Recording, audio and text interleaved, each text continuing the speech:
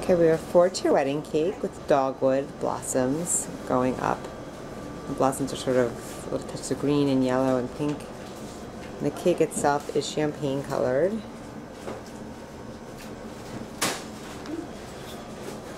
Congratulations.